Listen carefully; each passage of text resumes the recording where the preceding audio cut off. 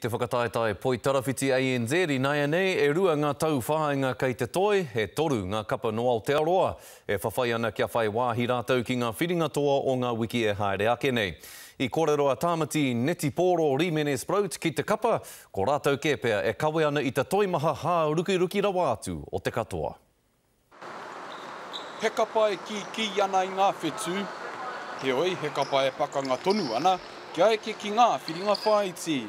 I guess it's been the story of our, I guess the last two, three years we've had um, a great team on paper, but on court, realistically, we haven't been performing. From the start of the, of the competition, it's been must wins for every game, but obviously that's not how it's gone. Um, but yeah, coming down to the crunch time of the season, these games are crucial for us to win.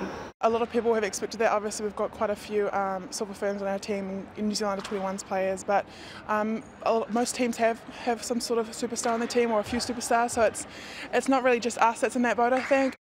E rua ngā kēmu e toe ana i te whakataetae, ā, e toru ngā kapa e aru ana i te tūranga tuatoru kia eke ki ngā whiringa whāiti, arā, ko te kapa Mystics, te kapa Pulse, me te kapa Tactics. Mea rawa ake, he pakanga nui kei mua i ngā kapa e toru.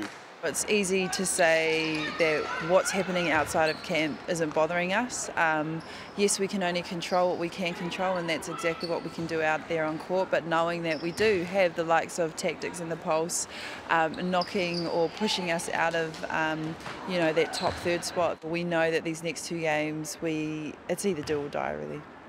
Ko koro te kapa mastics i te kapa swifts hei te pō tapu, he kapa kei te tihi o te papa tātai. I think that we're ready for to finally topple that mountain and I think we can get those wins. to get a win at least, so yeah, doesn't matter where it is to be honest, but yeah, it'll be nice to get a win at home.